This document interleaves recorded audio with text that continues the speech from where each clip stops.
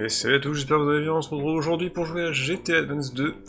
La suite donc de GTA Advance premier du nom, qui était sorti il y a pas mal de temps sur Game Boy Advance, ça fait partie des premiers jeux de la Game Boy si je dis pas de bêtises. qui était un jeu qui euh, ressemblait beaucoup à Gran Turismo, dans l'idée. Et en jouant euh, au 2, je me suis dit mais qu'est-ce qui s'est passé? Pourquoi ils sont passés directement en mode rallye Puisqu'ici, comme vous pouvez le voir, il n'y a pas euh, de mode de Gran Turismo, c'est que du rallye. Et en fait, il va falloir arriver au GTA Advance 3 pour reprendre une formule classique. Donc, le premier avait été plutôt salué en promettant un jeu plutôt pas mal pour la, Game Boy Advance. Par contre, celui-là n'a pas eu de même critique. Donc on va voir ensemble si le jeu vaut le coup ou pas. Donc on a un mode de World Rally, Time Trial, Single Race, Practice, euh, le mode licence, on va voir ce que ça peut donner. On va aller voir les options d'abord. Donc on a les records, on a le son, delete, load et save. Au niveau du son, on a quoi? Euh...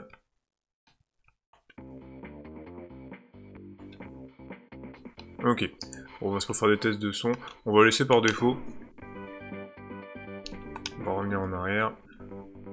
Donc du coup, on va faire le licence. Que j'imagine qu'il faut peut-être passer la licence. On a la licence B, A et S faire OK. Alors, chapitre 1, chapitre 2, chapitre 3. Qui sont les, 5 épreuves qu'on aura à faire. Et chaque fois avec un véhicule différent. Et d'ailleurs, ce qui je trouve génial déjà, c'est regarder les choix.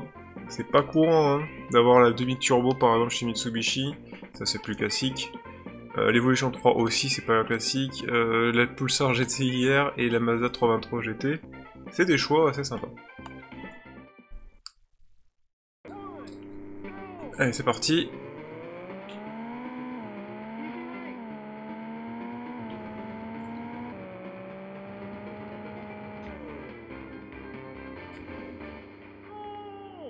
Donc là c'est juste un virage à faire. on a eu le on a eu l'argent.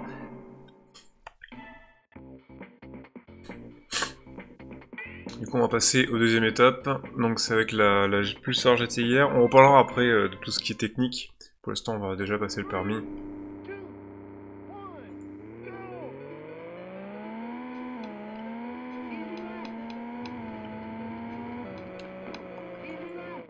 Ah, je dois pas toucher. Ok. On va recommencer.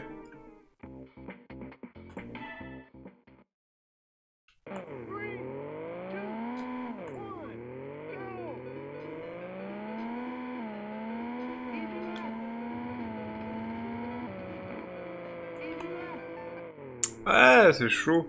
En fait, quand on n'accélère pas, la voiture a tendance à continuer de glisser, alors que si on accélère, bah, elle reprend un peu de, de virage.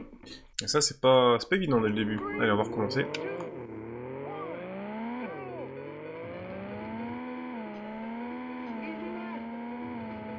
Non mais... c'est une blague. Bon allez, on va recommencer, c'est pas grave. Ah, il faut vraiment, vraiment bien toucher, quoi.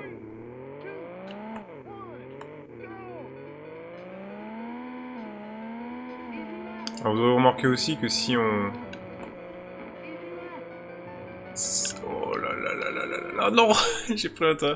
On remarquerait aussi que si on accélère trop fort au départ, euh, on a... On a le, moteur qui arrive en rupture.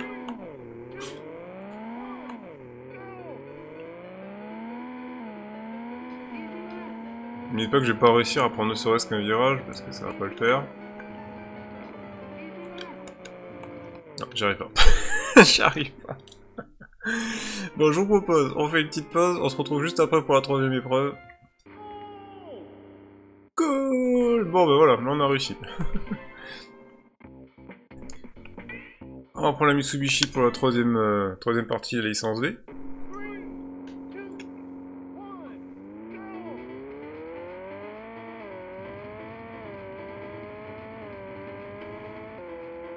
Déjà, on sent, on sent qu'elle a plus de grippe. Bon, ça c'était beaucoup plus simple. 4 motrices, 2 motrices, j'ai l'impression que c'est pas la même. On prend la Toyota.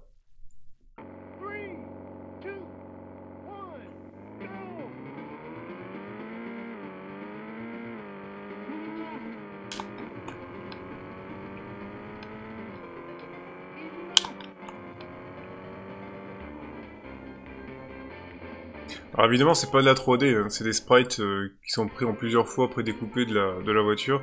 Ce qui fait que quand on tourne entre, entre à 360 degrés, c'est juste un sprite différent qui s'affiche qui donne cette impression. Mais, le sprite n'est pas en 3D. c'est pas du 3D. Ça reste un sprite. Et enfin, on prend la Mitsubishi. Alors, s'il y a une différence. Parce que c'est très difficile sur console portable, enfin en tout cas à cette époque, de vraiment euh, faire des différences entre, entre les véhicules. Oh, ça glisse pas mal Ah mince. On va recommencer. De, de créer des différences, parce que c'est déjà de base difficile de faire la 3D sur la Game Boy Advance, c'est possible, mais elle n'est pas assez puissante pour que ce soit vraiment euh, très très beau. On l'a vu par exemple avec euh, le jeu V-Rally 3 sur, sur Game Boy Advance, qui est pour moi le meilleur jeu de rallye de la console portable de Nintendo. Euh... Énormément.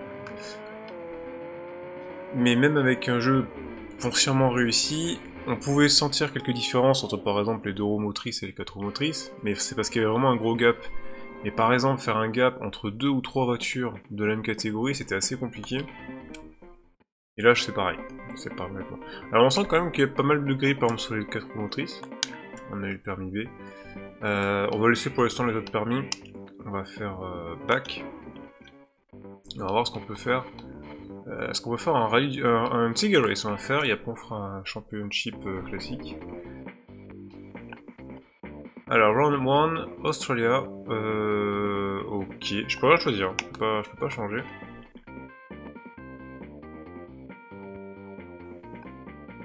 Ok, donc on aura trois spéciales. Ah oui, bah effectivement, c'est le même spécial qui se suit. C'est qu'on va faire des bouts de spécial euh, à chaque fois. Euh, va faire 1 miles, donc ça fait 3... Ah non, 3,6 miles, pardon. Ah non, le total c'est 3,6 miles, et celle-là fait 1,01. Avec que du gravier, bon ok, pourquoi pas. Ah, on va pouvoir régler un peu l'automobile. Donc là, pour le moment, on n'a pas changé notre voiture, on va la sélectionner, on peut la régler. Donc là, vous voyez, on a une Subaru euh, GC8. Et pour l'instant, on n'a que 3 constructeurs disponibles. Donc si on va chez Subaru, euh, on a malheureusement que la Subaru One Preza. Mais je pense qu'on peut la débloquer, parce que vous pouvez voir qu'il y a marqué 1 sur 2, ce qui fait qu'on peut en débloquer une deuxième si on veut. On peut aller chez Toyota.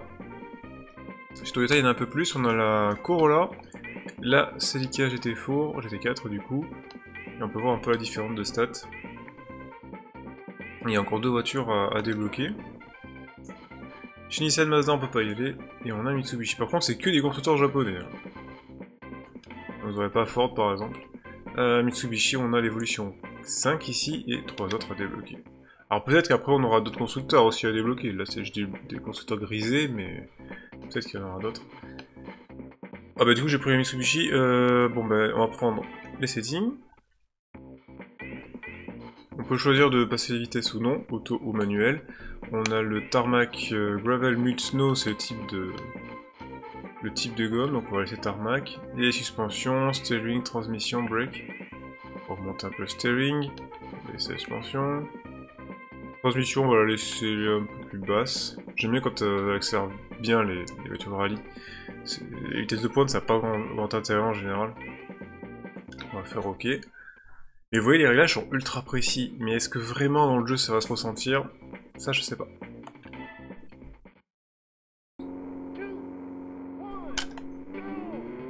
Allez, c'est parti pour la première spéciale. Donc là, on a hard left. Oh, on a des, concurrents avec nous? Ah, petit effet de... Petit effet de... Comment ça s'appelle? Regardez. de boss. On, est sauté, on va sauter et tout. Oh, c'est assez bizarre parce que... Comment vous expliquer? Oh là, je pas n'importe quoi. Ce qui est assez bizarre, c'est que le dénivelé, on le, on le, sent un petit peu, là oui, on le sent énormément. Mais pour l'anticiper euh, et le voir, c'est compliqué. Et alors là, je m'attendais pas à ça. Je m'attendais à ce qu'on fasse juste un contrôle à montre et après euh, voir notre classement par rapport aux IA. Mais pas du tout On a les IA en direct comme, euh, comme sur un Sega Rally par exemple.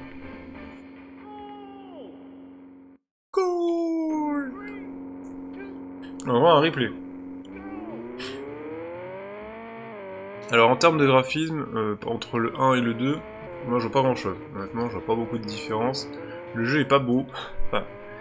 Autant le 1 on pouvait dire ça passe, mais après quand il y a eu, euh, bah, je repars de Rally 3, euh, et qu'on passe à ça, euh, là par contre le gap il existe, et franchement, c'est pas beau du tout. Alors ce qui est moins beau que Sega Rally Championship sur Game Boy Advance, non, je dirais pas ça, parce qu'il est plus précis, plus net que, le, que celui sur que le Sega Rally, mais le Sega Rally a quand même beaucoup plus de décors que ici. Ici c'est très très plat. Limite c'est presque un jeu qui aurait pu être fait avec le mode 7 de la, de la Super Nintendo. Euh, retry yes, change course. Euh...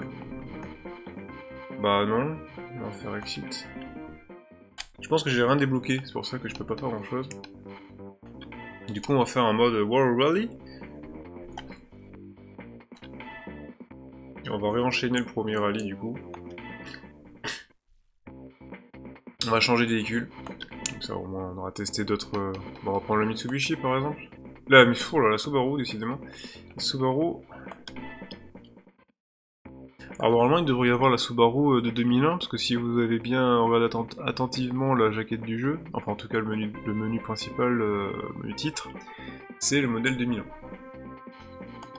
Voire même 2002.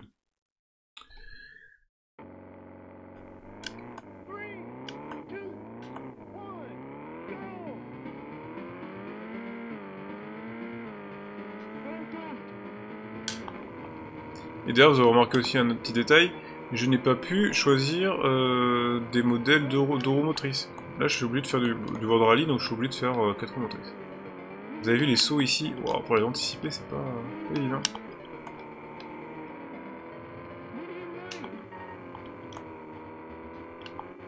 J'ai fait faire la même erreur que tout à l'heure. Là, on voit qu'il y a un saut, je peux la ok, mais quand on prend la bosse, il se passe rien. Et il y a des moments où on voit même pas qu'il y a un dénivelé, et là, il y a un saut. C'est assez paradoxal. Alors quand on touche les, IA, bon ça va, ça impacte pas trop honnêtement, donc ça c'est bien. Après le jeu en termes de maniement, là je suis que 6ème par contre, euh, le jeu en termes de maniement est plutôt sympa. Honnêtement, il y, a un côté assez fluide quand même quand on, quand on pilote. C'est assez sympa à jouer. Je pense que j'ai même plus de plaisir à jouer là euh, que je l'ai eu pour le Sega Rally. Par contre, j'en ai moins que pour euh, le Rally 3. Il y aura beaucoup de, des comparaisons, mais j'en profite puisqu'on a fait les jeux avant.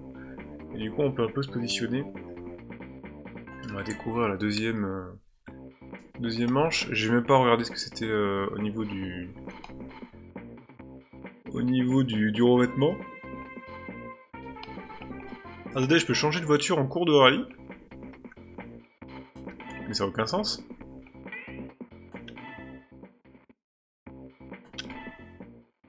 Ok.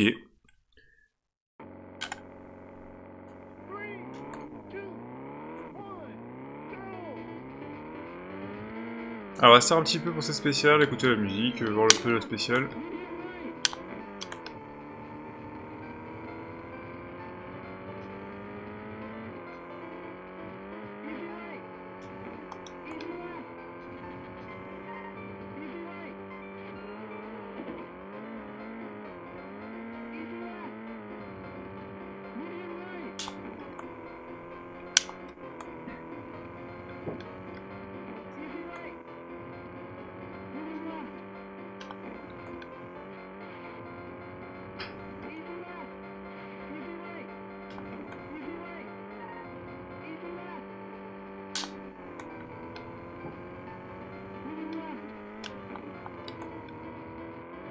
Oulala, on l'a vu le dénivelé par contre.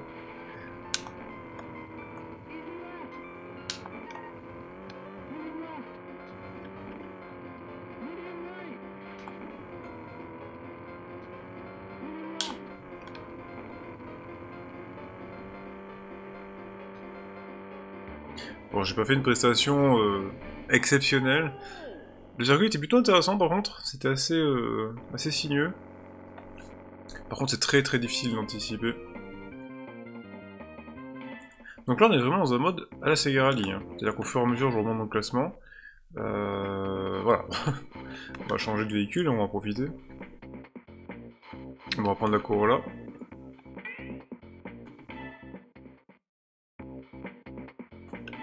Et j'ai pas... Enfin, j'ai senti une légère différence, mais vraiment euh, subtile.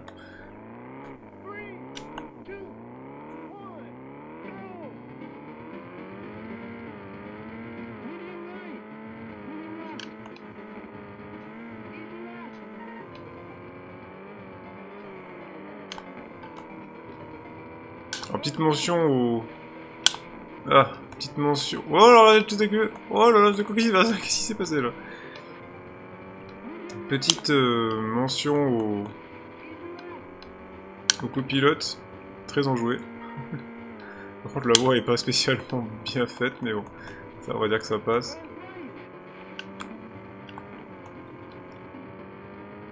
En revanche, vous ai vu tout à l'heure, euh, il y a eu le, le petit, petit message avec marqué Yeah Le mec qui s'éclate, il prend, il prend son kiff quoi, tout va bien.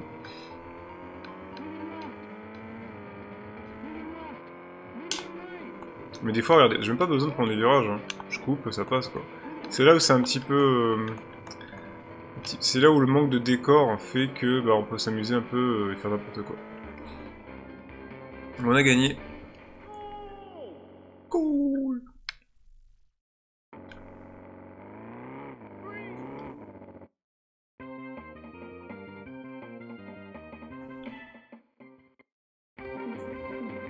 On a fini premier, le premier rallye directement, alors on s'est quasiment pas entraîné, pour vous dire à quel point c'était pas très compliqué. C'est moi ou la coupe, on dirait quelqu'un qui fait, euh, comment dire, qui met les mains vers le haut là, qui les met avec les, pouces sur la tête en mode gna Trop bizarre. Bref. Allez, on va faire le Kenya. Ouais, là maintenant du coup on a deux. On va faire le, Kenya, deuxième, euh, rallye. Euh... Ok.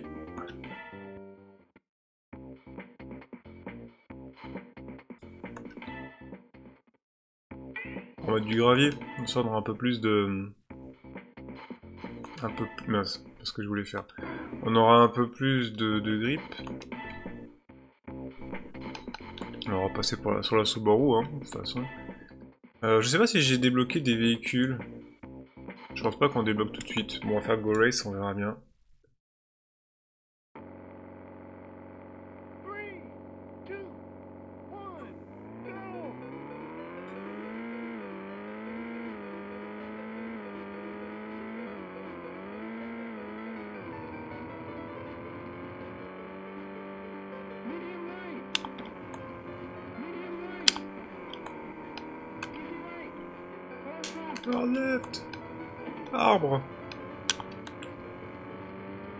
Ah oui, puis aussi, vous l'aurez remarqué, il n'y a pas de mention de dégâts sur le jeu. C'est-à-dire qu'on peut, on peut exploser la voiture n'importe où, elle n'aura pas de dommages.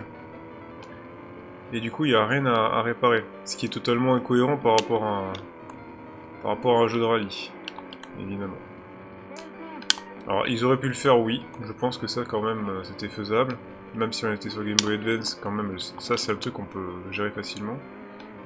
Donc pareil, c'est un petit manquement, quitte à faire du rallye. Alors comme je vous dis, ça ressemble tellement à du Sega Rally que c'est peut-être pour ça qu'ils l'ont pas fait. En fait, ce jeu ne peut même pas être comparé à Rally 3, il peut être comparé que à Sega Rally.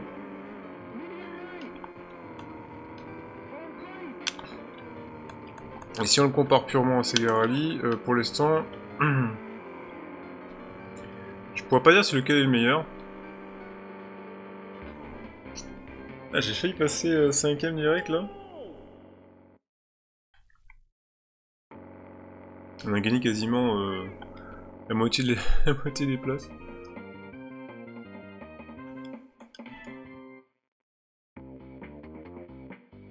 Clear, Night, ok.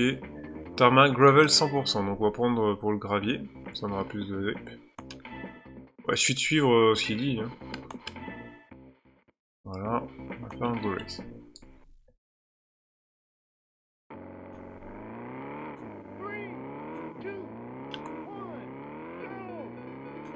Et là on est de nuit. Bon la musique n'a pas changé, c'est toujours la même. Mais là pareil, typiquement on est de nuit. Euh, bon, c'est cool, hein, ils ont fait un décor un peu façon nuit, donc euh, moins éclairé. Mais ça change rien. on, voit largement devant nous, il n'y a, pas de différence. Là, on a le hard là, left. Pas de tête à queue. Ouais, c'est bon.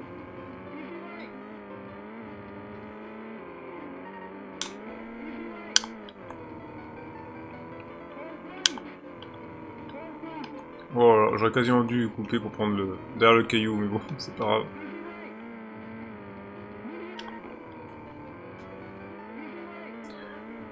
Alors si vous vous souvenez, le GT, euh, GT Advance 1 euh, avait la particularité d'être beaucoup... Euh, les, voitures ont tendance à beaucoup drifter.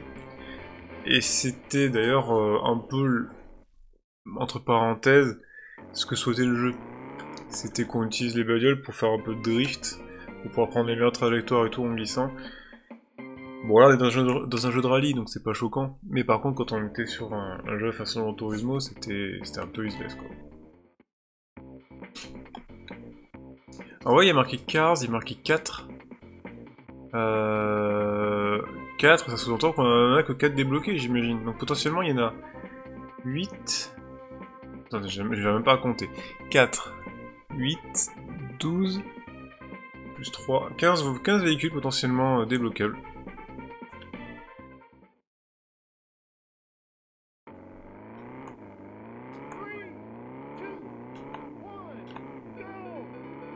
Bon, j'ai essayé de voir si je pouvais faire le super départ, pour l'instant je sens pas de différence, donc euh, on va laisser comme ça, hein, mais...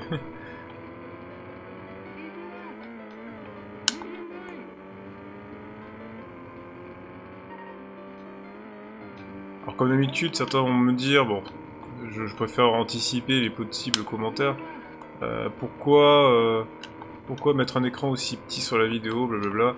Bah, Pour vous montrer ce que ça aurait pu donner sur la console avec un écran d'une taille ridicule, quoi. Parce que si je vous mets le jeu en plein écran... Bon bah déjà c'est évident que ça... Oh papa Oh bah voilà, on a coupé. C'est évident que le jeu sera encore plus moche, puisqu'on va faire un zoom sur les, sur les pixels. Mais c'est pas le ressenti que vous aurez vraiment euh, sur une console portable.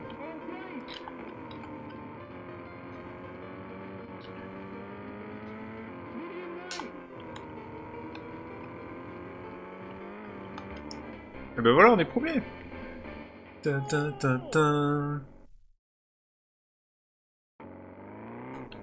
Bon, petit replay qui sert pas à grand chose entre, nous.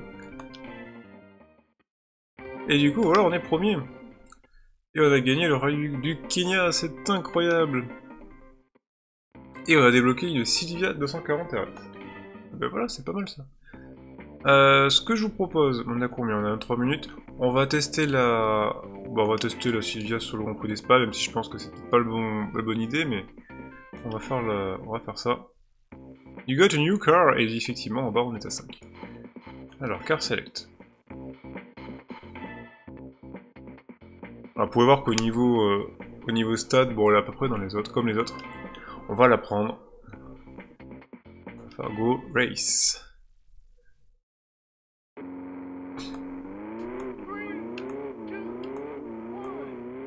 Ah, par contre, j'ai oublié d'en parler. Mais euh, vous remarquerez que les, véhicules ont chacun leur bruit, leur sonorité différente. Et ça, c'est plutôt très très bonne nouvelle. Voilà, je me trouve où je Ça, par contre, c'est très très bien. C'est un bon point. Je serais incapable de vous dire si sur, les autres jeux c'était le cas. Il me semble que oui, c'était un peu le cas aussi. Par contre, ces Garage, je sais pas.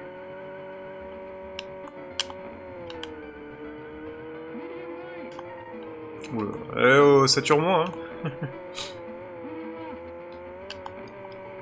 Oh, le saut dans le virage, tout va bien.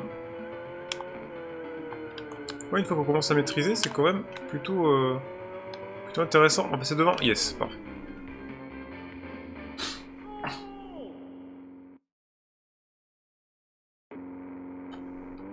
On va faire, euh, on va faire start. Ouais, J'en ai bouché, je suis désolé, comme d'habitude. Euh, donc, passer à la deuxième étape.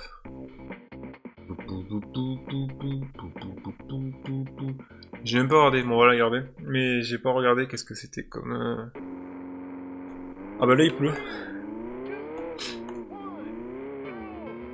Et bah du coup on va savoir si la pluie a un impact. Et je crois que oui.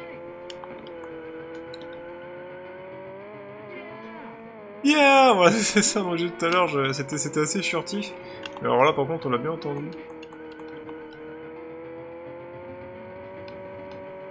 Allez, dans la debout.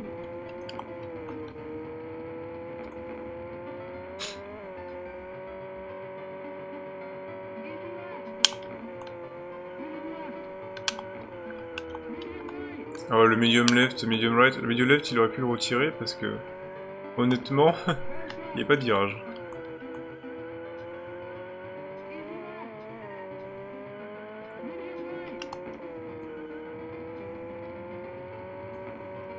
Je sais pas où je vais, mais ouais. Bon, c'était moyen cette, euh, cette 2D spéciale. J'ai pas été très rapide. Par contre, effectivement, il y, a une différence avec la pluie quand on est sur le tarmac mouillé. Donc encore un bon point. Et là, on est sur du clear morning, euh, et ça sera 70% de tarmac. Donc, euh, on va garder les gommes comme ça. Et donc, deux voitures à dépasser pour gagner.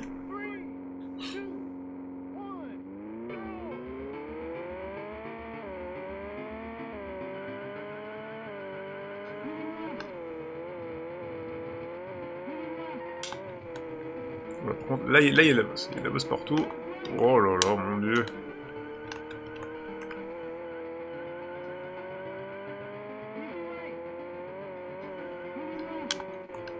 Alors si, autre chose plutôt pas mal, même si... Euh... Non, non, c'est plutôt, un bon point. Euh, on peut remarquer quand même qu'on voit assez loin devant nous. Ça par contre c'est un avantage, parce que souvent dans les jeux euh, sur console à l'époque, un peu en mode, en mode 7, J'aimais ça le mode 7 parce que ça reste un peu la même chose ici. Euh, bah, c'est qu'on voit loin devant nous, donc du coup on peut un peu plus anticiper. Je pas, pour voir qu'il y a virage à droite avant qu'ils nous le disent, donc ça c'est bien. On va à gauche. Du coup ça c'est pas mal, pouvoir anticiper dans un jeu de rallye, même un jeu de course euh, tout court, c'est quand même vraiment bien. Et c'est toujours ce que je reprochais dans les consoles 16 euh, bits ou même 8 bits, des jeux de F1 ou des jeux de course, c'est pourquoi je déteste ça, en tout cas sur ces consoles. Parce qu'en fait, on n'a jamais le temps. En fait, c'est... On a beau voir le circuit vu de haut, par exemple, sur le côté, etc. On ne sait jamais quand le virage va arriver. Et du coup, bah, c'est tout, on est toujours quasiment pris au fait de nous dire « Ah, il y a vite un virage, je tourne. » Mais j'ai pas le temps d'anticiper. Là, au moins, on peut. Et ça, honnêtement, c'est très très bien.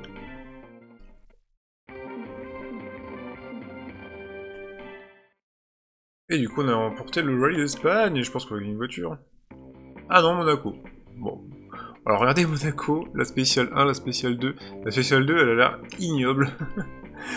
Mais bon, on la fera plus tard. Je vais juste faire une spéciale pour vous montrer à quoi ça ressemble. Euh, et là, c'est du snow, hein, vous pouvez le voir. 100%, on va juste le faire la première pour que vous puissiez voir ce que ça donne avec la neige car setting. Et là, si vous faites pas gaffe, vous continuez, vous avez quelque chose qui est pour le, la mauvaise euh, surface. Donc on va faire attention. On va changer de véhicule. On va un petit peu... Bon, on va peut-être par exemple prendre la... Mais je crois qu'on n'a pas pris la Mitsubishi ici. Oh, je m'en souviens plus, c'est pas grave. Go race. Allez, on va finir sur celle-là. La spéciale qui est assez courte, hein, par contre, par rapport à la deuxième. Alors attention, parce que la neige, à mon avis, pas être la même.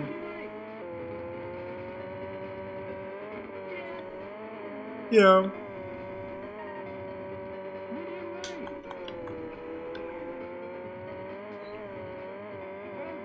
après, certes, euh, on est aussi avec des gommes en conséquence, donc euh, bon, ça va quand même, il y, a du grip quoi.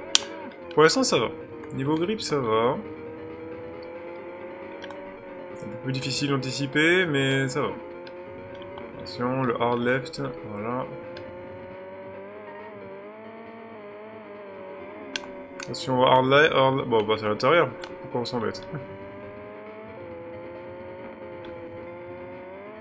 On arrive sur la ligne d'arrivée. Bon, ça va être très très bien sorti Bon, il y a une petite diff, effectivement, ça glisse un peu plus. Mais comme on a les bonnes gommes, bon, ça s'annule un peu. Honnêtement, il n'y a, a, pas, pas grande différence avec le mode pluie